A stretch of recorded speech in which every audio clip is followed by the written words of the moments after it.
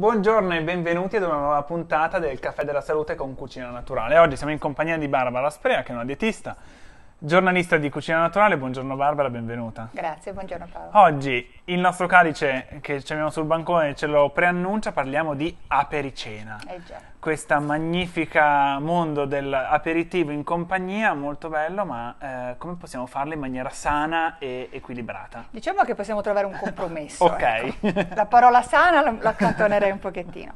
Allora, innanzitutto cambierei il nome. Allora, la pericena in realtà è una cena, non è un aperitivo.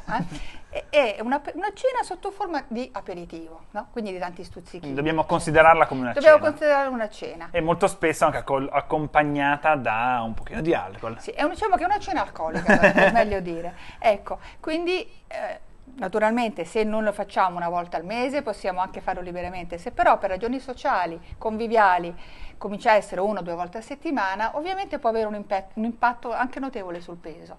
Dicevi, l'alcol è particolarmente calorico. Sì, allora normalmente noi non percepiamo le calorie di ciò che beviamo, cioè non ci pensiamo, no? Non ci pensiamo con le bevande gassate e non ci pensiamo assolutamente con gli alcolici. Per fare un esempio, questa è la tipica, è la classica eh, porzione di vino, cioè 100 Questa, sì, quella sì. standard, di 120 ml. E corrisponde più o meno? Corrisponde mediamente a 100 calorie. 100 calorie sono come 30 grammi di pane. Quindi, Per cui bisognerebbe già quando si eh, va a una pericena decidere quanto si beve. No? Ok. E non bere mh, diciamo 3, 4, 5 bicchieri perché comincia a essere già una, una buona porzione. Oppure alternare il vino a bevande che non hanno l'impatto. Non dico l'acqua frizzante col limone, ma magari il succo di pomodoro condito è praticamente acalorico ed è buonissimo e anche sfizioso. alcuni consigli, alcune persone consigliano di mangiare prima di Sì. recarsi all'aperitivo, perché è vero? Sì, allora questa cosa viene tante volte anche consigliata prima di andare a mangiare al ristorante, cioè l'obiettivo è non arrivare mai troppo affamati, perché più si arriva affamati e, e poi si, si- stramangia. Ancora peggio nella pericena quando c'è una disponibilità libera di cibo. Quindi no? anche scegliere il posto giusto, Eh, meglio sì. non you, all you can eat. Eh, sarebbe meglio, perché ovviamente è, è un, è un meccanismo psicologico.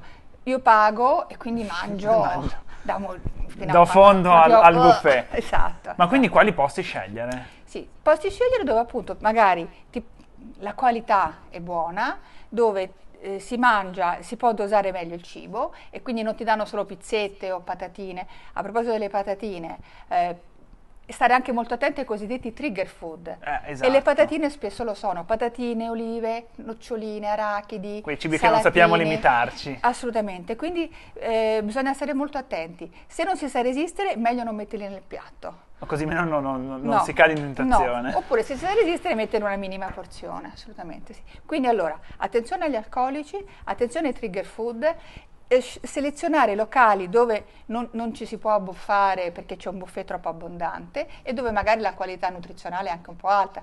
Tipicamente i locali migliori hanno anche, offrono anche tante verdure, Certo. crudité, eh, magari del pesce, insomma delle cose un po' più leggere. Grazie mille Barbara di tutte queste Ok. informazioni sulla pericena Eh, e alla prossima puntata di Cucina Naturale con te e con i nostri amici a casa. Grazie, arrivederci Paolo.